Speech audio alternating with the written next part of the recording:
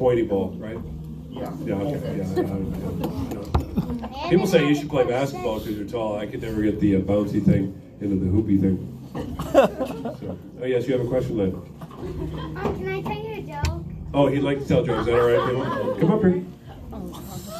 Is it an appropriate joke? Um, no. Okay, sit down. No. He don't know what appropriate means.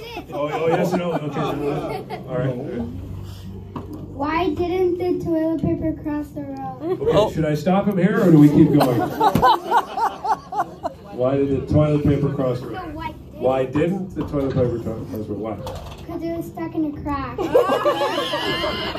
Give him a hand and start praying. Everybody pray. Oh, there it is. There it is. He actually made that by the way. up. I was very similar to this child. when I was a kid. This is how it starts. um, oh, I found out a random thing. You guys probably already know this. You know they do